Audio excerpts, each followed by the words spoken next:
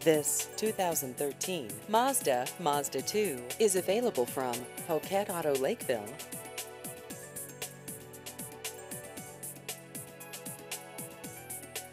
This vehicle has just over 3,000 miles.